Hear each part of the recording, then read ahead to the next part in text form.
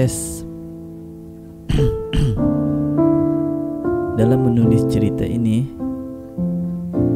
sebenarnya ya jujur saya tidak tahu kira-kira harus memulai dari mana untuk menyusun kata-kata ini agar menjadi suatu kalimat yang enak didengar, mempunyai makna dan arti yang mendalam, seperti layaknya seorang bujangga, layaknya pencipta lirik lagu yang bisa menghipnotis para pendengarnya, atau layaknya anak-anak band indie yang hanya bermodalkan secangkir kopi.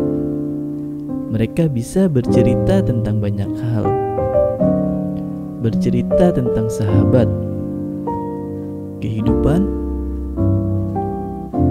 masa lalu, bahkan bercerita tentang masa depan. Tapi sayang, saya bukanlah ketiga-tiganya dari mereka. Saya menyadari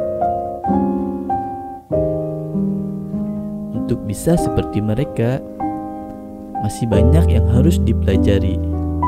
Tidak ada yang instan. Semuanya memerlukan proses.